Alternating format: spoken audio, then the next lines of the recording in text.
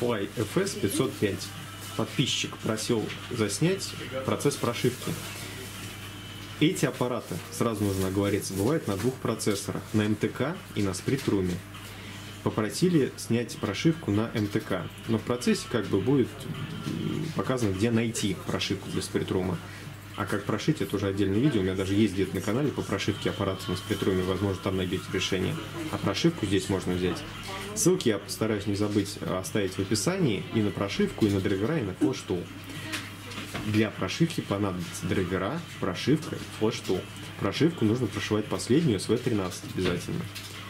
И последний момент, значит, как определить, на каком процессоре ваш телефон?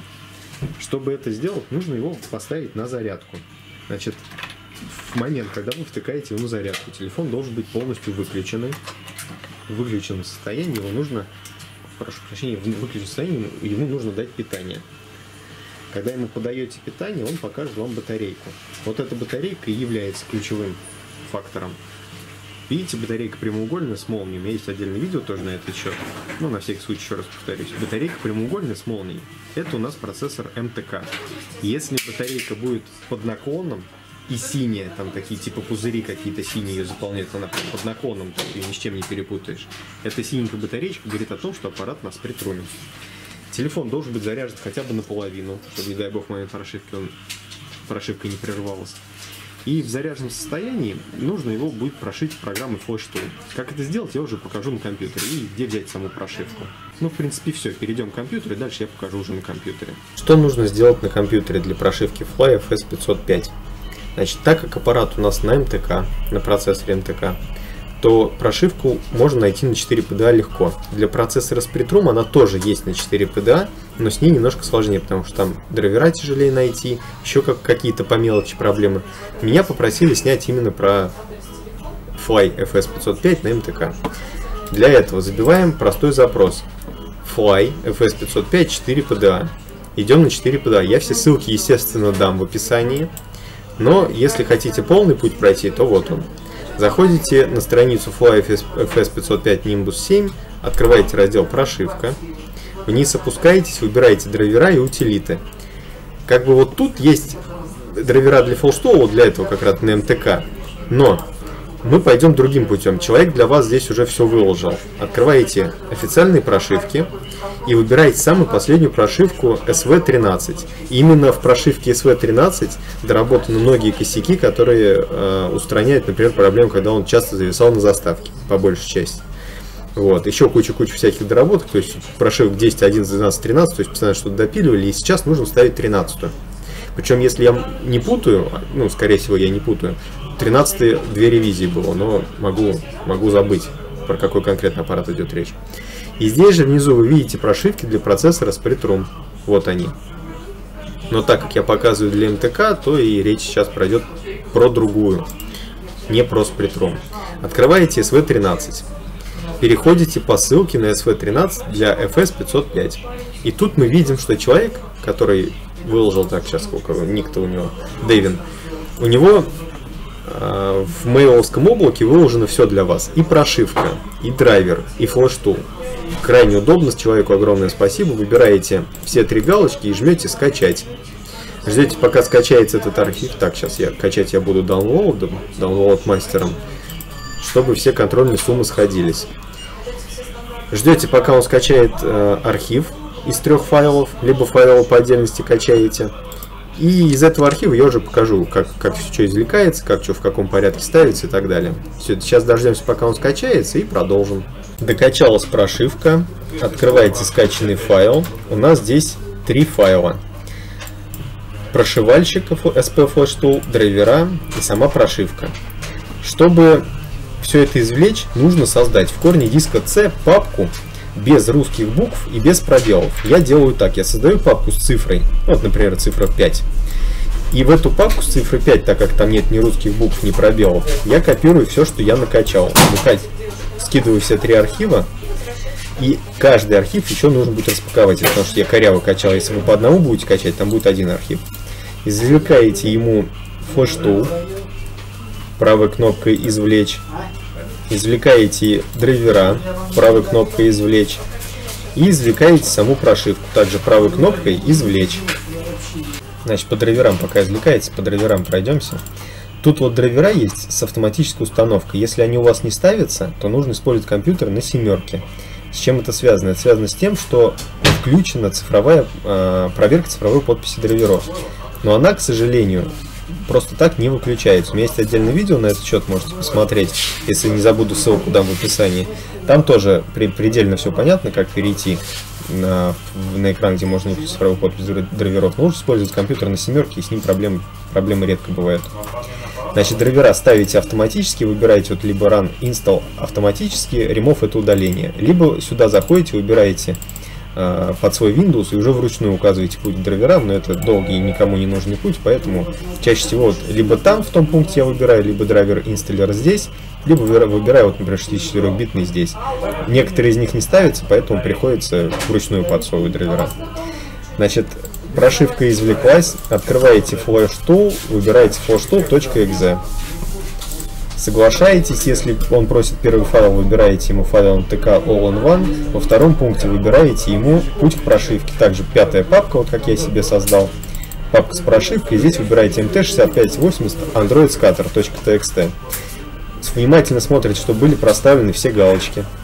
Выбираете ему обязательно при любом раскладе, выбирайте firmware upgrade. Если выбрать download only, он заменит некоторые файлы, ну, прошивки, так сказать, саму прошивку некоторые файлы он заменит, но нормального результата это не даст. Ни нормальные вирусы какие-то серьезные, ни нормальные проблемы это не уберет. Делать по-нормальному сразу делать через firmware апгрейд. Формат all плюс download вообще не выбирать, иначе уйдут email. И значит, значит, значит, выбрали firmware апгрейд, телефон отключили от компьютера, зарядили, зарядили хотя бы наполовину и жмете download нажали ему Download и подключаете к компьютеру в выключенном полностью заряженном либо заряженном наполовину состоянии. Я рекомендую заряжать полностью. Значит, несколько моментов, о которых надо говорить до того, как вы все это будете делать. Первое, ставите драйвера, флеш-тул используете тот, который рекомендует производитель, и прошивку ставите всегда только последнюю. Следующий момент. Перед тем, как делать эти любые операции, нужно выйти из учетной записи Google. Меню настройки аккаунта, в правом верхнем выбрать гугловскую учетную запись, в правом верхнем углу кнопка с тремя точками удалить аккаунт. Если это не сделать, после сброса либо прошивки, он будет просить старую учетную запись и пароль от нее. Если вы их не знаете, то вы как бы словили большую головную боль. У меня есть на канале Повалить ФРП Google, там есть э, разблокировка FS 505, но лучше до этого не доводить. Кстати, знаете что, я сразу покажу. Сейчас вот, когда мы его прошьем, я покажу, как заодно убрать FRP блокировку Google. Раз уж заодно мы тут и драйвера и все подряд поставили. Значит, сначала его прошьем. Значит, показывает он у нас firmware upgrade, телефон наполовину заряженный, и в заряженном, в наполовину заряженном состоянии, выключенном, мы его подсоединяем к компьютеру. Сейчас я включу вторую камеру и покажу на камере, что вообще происходит. Выключенный заряженный телефон подсоединяете компьютеру, а на компьютере у нас нажата кнопка Download, а выбрана firmware Upgrade. Подключили на телефоне, ничего происходить не будем, не будет, смотрите на компьютер. Побежала красная полоска, он загружает э, нужный ему файл, текстовую, так сказать, таблицу с инструкцией, что куда заливать. И начнется прошивка. Пробежала красная полоска, пробежала строка форматирования и пошли заливаться блоки. Ждем окончания, не прерываем, телефон нельзя снимать. Иногда еще на некоторых телефонах нужно без батарейки его прошивать. Здесь внизу вот будет тогда написано uh, without battery, то есть прошивка без батареи. Все, ждем окончания, не прерываем.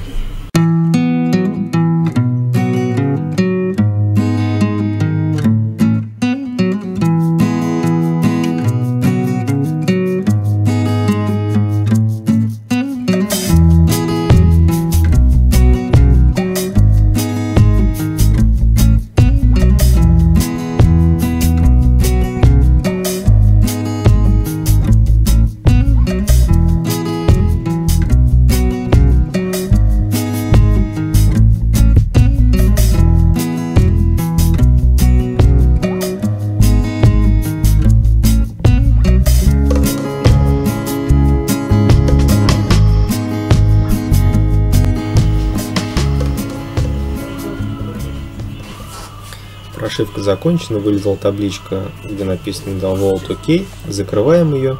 Прошивка тем самым закончена. Перейдем к телефону. А потом я покажу, ну, мы все включим, настроим, потом я покажу, как снять FRP блокировку. Прошивка закончилась, телефон соединяете, батарейку ему выдернули, воткнули, выдернули, воткнули, на зарядку ставите и включаете. Все, зарядку поставлю. Оп, сейчас он начнет заряжаться и будем его включать. Заряд, кстати, может показать неправильно. После первой загрузки потом все придет в норму. Все, включаем. 5-10 минут он будет включаться, несмотря на то, что ничего не происходит, ничего не трогаем. Первая загрузка всегда очень долгая, потом настраиваем дату, время Wi-Fi и пользуемся. Так, а теперь вернемся к компьютеру, я вам покажу, как снять FRP-блокировку на Huawei FS505. А теперь по разблокировке FRP Google. Если прошивка вам не интересна, а прошивка FRP-блокировку не убирает, то и смотрели вы не сначала, то делать вам нужно следующее. Сначала ставите драйвера. Вот они здесь приложены. Авторан инсталлер, либо здесь вот есть для 64-битной, 86-битной системы. Если вдруг драйвера не ставятся и просят цифровую подпись драйверов, то тоже смотрите отдельное видео. Вам нужно, ваша задача поставить драйвера и открыть Flash Tool. Дальше, когда вы откроете Flash Tool, выбираете вот такой файл. Выбрать. Выбираете файл MT6580, ну тот, который мы выбирали. Он снова загрузит вот эти все э, галочки. Ваша задача убрать эти галочки, чтобы не было ни одной. Перейти во вкладку формат. Телефон должен быть отключен от компьютера. Мануал формат флеш. И забиваете два значения. Вверх вы забиваете вот такое, вот такое, а вниз вот такое. Вот такое значение. Забили эти два значения, отсоединили телефон от компьютера, то есть он должен быть все это время отключен. Жмете ему старт и подключаете в выключенном наполовину заряженном состоянии, а лучше полностью заряженном, к компьютеру. Две секунды пройдет, пробежит красная полоска и загорится зеленой галочкой ОК. Отсюда выходите, все, блокировка снята, просто выдергиваете батарейку, вставляете и включаете телефон, как первый раз блокировка ФРП уйдет. Если есть какие-то вопросы, пишите в комментариях. И ставьте лайк, подписывайтесь на канал.